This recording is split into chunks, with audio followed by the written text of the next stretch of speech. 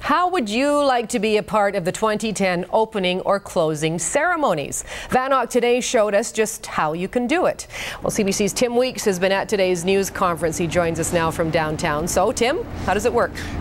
Well, the Olympic opening and closing are really the big ticket items. Usually the most expensive tickets, but if you can't afford them or you couldn't get your hands on them, there's still a way to get uh, to get your hands on some, especially if you sing or dance. The opening and closing ceremonies are considered the jewels of the Olympics. Glittery, maybe a little gaudy, and very expensive.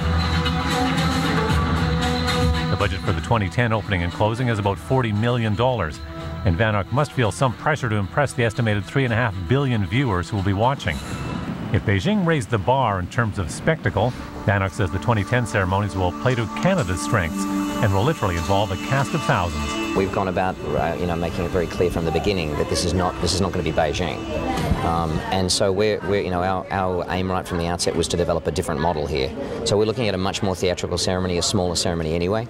People who want to apply are urged to do so now and fill out an online form. VANOC says it's looking for dancers, singers, athletes, and people who just want to take part. But everyone must still audition. Wendy Tynan says it's worth it. She volunteered in 1988 in Calgary when she was 12. They were made for each of us, but they were made so that we could bundle up. It was about minus 30 that day. so how many people are they looking for, Tim?